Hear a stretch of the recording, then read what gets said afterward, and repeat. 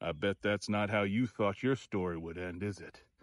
Being bludgeoned by a shovel by an old man? I can't believe you thought you'd get away with that. You came to my home in broad daylight, snuck in, and started rummaging around through all of my things, and you thought you'd get away with it? You must be out of your mind. I may be old, but I ain't dumb. I snuck up behind you ever so quietly and slowly, because slow is fast, and I know that. And I watched you, watched you going through my things.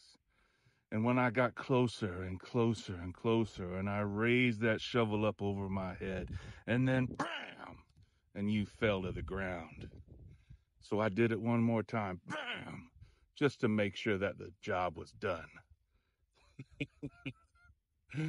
My only regret is that was the end. You lay there lifeless. but you didn't get any of my stuff, did you? No. I hate mice.